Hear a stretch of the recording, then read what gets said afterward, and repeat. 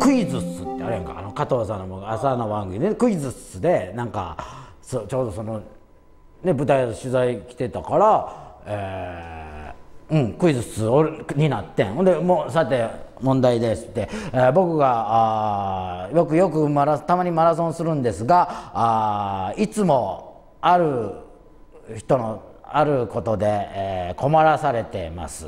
えー走ってるペースが上がってしまい困ってます。答えは何でしょうって言って、えーここでも話してたかな。あそこの俺いつも集会で走る公園があんねんけどそこでいっつもトランペット練習してるおっさんがおっていっつもロッキーのテーマ吹いてんねん。でそこだけなんかやっぱりあの歌聴いたら絶対ペース早なってしまうねん。っていう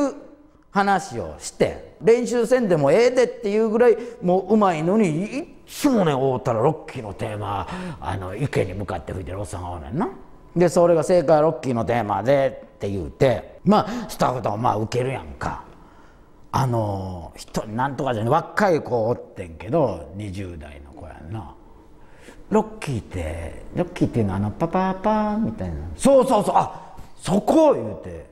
いまいちパッとしてないねんだから20代やったらロッキーのテーマって言ったら